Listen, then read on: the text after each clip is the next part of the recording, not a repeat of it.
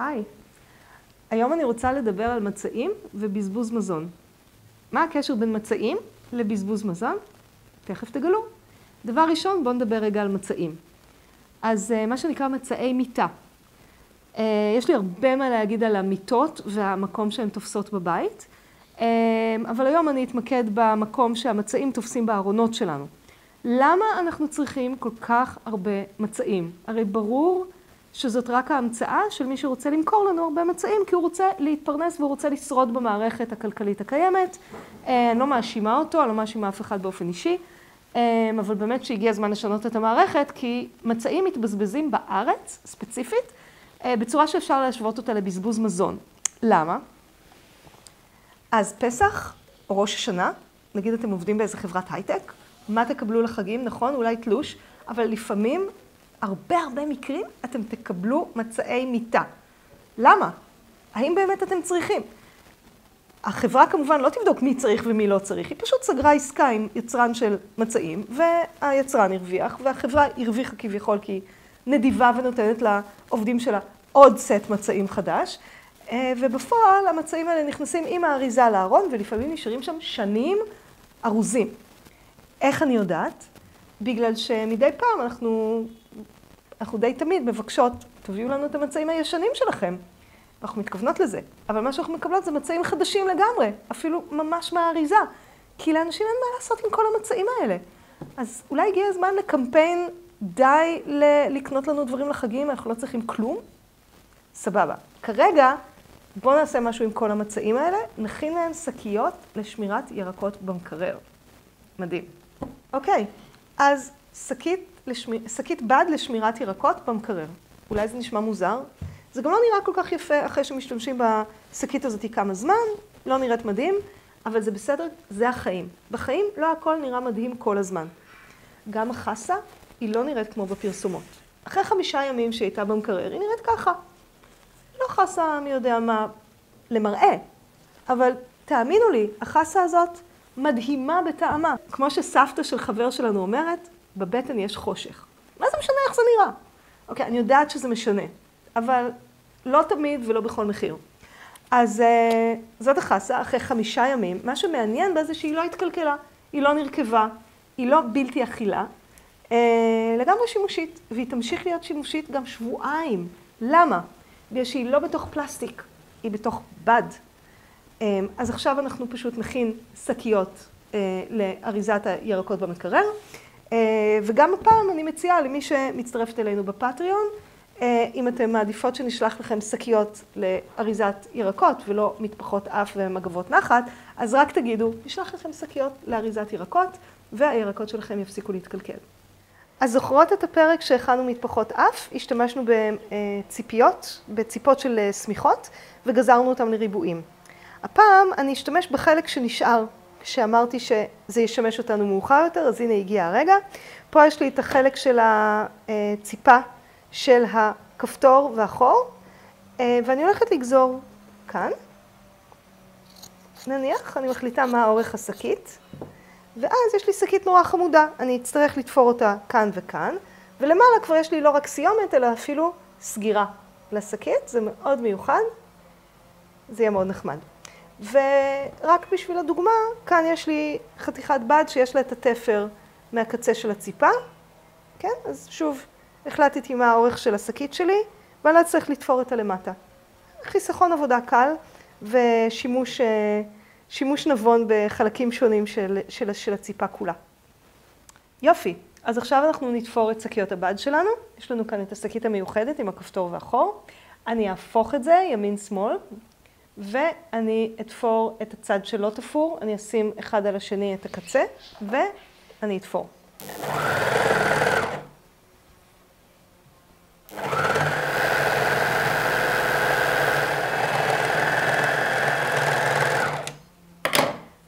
עכשיו אני אתפור את החלק התחתון.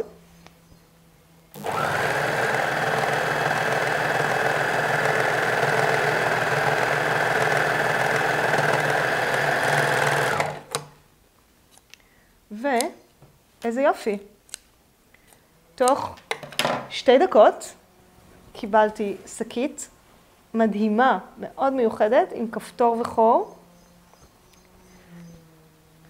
זאת אומרת שאני אוכל לשים חסה וגם לסגור את השקית. לא שזה חשוב, אבל זה ממש חמוד, ויכול להיות שזה גם שקית שיכולה להיות שימושית לדברים אחרים. אה, עם הניסיון אנחנו לומדות באיזה גדלים אנחנו רוצות את השקיות האלה, כמובן שקית לחסה, שקית לשלוש חסות, שקית לסלרי, שקית לפטרוזיליה, ועוד מעט הירקות יגיעו, ואז אנחנו, אה, אני אדגים איך אני אורזת את הירקות בשקיות היפהפיות האלה. אז זה סוף המחזור של הירקות בבית של עץ בעיר. בואו נראה איך המקרר נראה. אני מדברת על מחזור שבועי, הירקות תכף יגיעו מגן השדה, והמקרר ריק. איזה כיף. זה לא תמיד ככה, אבל כנראה לכבוד הצילומים יצא לנו מושלם, ממש דוגמה. דוגמה ומופת, כל מה שהיה יכול להתקלקל, נאכל, אה, יובש, ובא, עשינו כל מיני דברים עם האוכל, המקרר ריק, הבמה מוכנה לירקות החדשים. אה, מה שרואים במקרר זה כל מיני דברים שאנחנו שמים לשימור במקרר, והדלת גם מלאה בהפתעות, אבל אה, יש המון מקום לירקות החדשים, ואנחנו לא נבזבז מזון. איזה כיף לנו. ירקות. ירקות שלנו מגיעים מהשדה, עכשיו נשים אותם במקרר.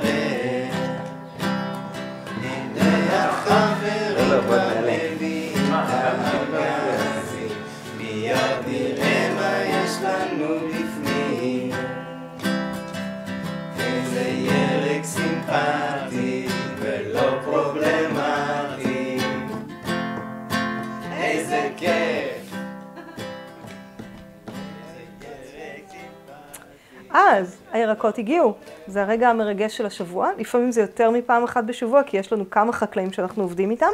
הפעם זה הירקות הנפלאים של רועי מגן השדה. אה, אני עובדת איתו כבר 12 שנה לפחות, איש מדהים, אני מאוד ממליצה. יש לנו עוד חקלאים, כמו שאמרתי, ככה יצא, היום זה מגן השדה. אז אה, כן, אז רועי משתמש בפלסטיק.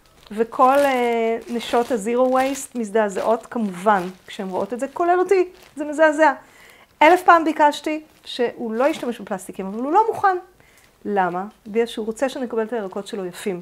ותכלס, הוא צודק, הירקות שלו כל כך יפים, ואני מבינה אותו שהם לא רוצים שהם יהרסו בדרך. מה הפתרון? הפתרון הוא שהשדה יהיה יותר קרוב לבית. אז בגדול, יש חלום, והחלום הוא שהתוצרת תגדל ממש קרוב לבית, והיא בכלל לא תצטרך לנסוע יותר מדי זמן במכוניות, בטנדרים למיניהם. אז אה, זה לא המצב כרגע. אז זה מגיע בהרבה פלסטיק, אבל החלק היותר אה, נחמד זה שאנחנו אוספות את הפלסטיקים האלה, ורועי לוקח אותם בחזרה ומשתמש בהם שוב. אני ממש גם אה, מרגישה שהפלסטיקים האלה חוזרים אלינו, משומשים, אז הוא באמת משתמש בהם. אה, וחוץ מזה שאני מכירה אותו, והמילה שלו זה מילה. אז, חקלאי אורגני, חסה נפלאה, אה, בהשוואה לחסה שראינו בווידאו, אה, מרגישים שהיא טריה והיא ממש זוהרת, אני לא יודעת אם רואים את זה בווידאו, היא פשוט אה, זוהרת מאוד. את החסה הזאת אני הולכת לשים עכשיו בתוך שקית בד גדולה, כזו, וככה היא הולכת להיכנס למקרר. פטרוזיליה מהממת, תראו איזה זר מדהים. אז כל הירוקים האלה, ירוקים במיוחד, הם אלה שמתקלקלים ממש בקלות במקרר. אה, כדאי שכל זר וזר יהיה אה, בשקית. לפעמים יש חקלאים, וזה רועי לא עושה, ששמים פה גומייה. אז אה, שחררו את הגומייה, זה גם מאוד מאוד יעזור להם לחיות. ואם אתם רוצות להתנסות בשימור של אה, ירוקים מחוץ למקרר, אתם יכולות לקחת איזשהו מיכל ולמלא אותו במים, נגיד סנטימטר או שניים של מים, ולשים את כל הירוקים צפוף צפוף בתוך מים. זה יישמר ככה במשך כמה ימים, והרבה יותר טוב מאשר בתוך שקיות בד במקרר, זאת האמת. אה, ולפעמים אנחנו עושות את זה כשנגמר המקום במקרר. תכלס, פשוט יותר נוח לנו שהכל נכנס לקופסה הזאת שמחוברת לחשמל, וזה מה שאנחנו עושות, מכניסות את זה לבד. אז אה, אולי אתם גם שואלות את עצמכם מה עם שאר הירקות שהם לא ירוקים? אה, אז נגיד עגבניות, חצילים, אה, תפוחי אדמה, בטטות. אז יש את אלה שפשוט הם מחוץ למקרר, אתם יכולים לראות פה את מדף הבטטות שלנו, הן לא צריכות מקרר, גם הדלעות וגם תפוחי אדמה ועוד ירקות שפשוט לא, לא צריכים קירור בכלל. אה, ואלה שכן צריכים קירור, לאו דווקא צריכים שקית, ואתם תחליטו לפי העובי של הקליפה. אז אם זה ירק מאוד מאוד עדין, כדאי לשים אותו בשקית, ואם זה ירק כמו עגבנייה או קישור או שומר או אפילו גזר, לא חייבים. אבל השקיות לפעמים פשוט עוזרות לנו לארגן את הירקות במקרר, והן אף פעם לא מזיקות. איך זה נראה? מלא בירקות, וכל הירקות הירוקים בתוך שקיות, וירקות שלא צריכים שקית, הם לא בשקיות, הם פשוט במגירות. יש לנו ארטישוקים וקישור, וסלק, ועוד קישור, ומלא דברים טעימים. עוד משהו קטן ממש. תראו מה הגיע מהגינה היום. זה ממש, שבועות מתקרב, זה ממש נראה כמו איזה סל ביקורים. תראו את המנגולד המהמם הזה, שאלון כתב בגינה שלנו בלב תל אביב. מי היה מאמין? וגם את המנגולד הזה, תראו איזה מדהים. יש כאן עוד ליקוטים, מלא ירוקים מדהימים, בחינם, זאת פרנסה. זאת פרנסה כשהאדמה שלנו מגדלת את האוכל שלנו. Uh, זהו, זה הולך להיכנס לתוך שקית בד ולמקרר. זה כיף.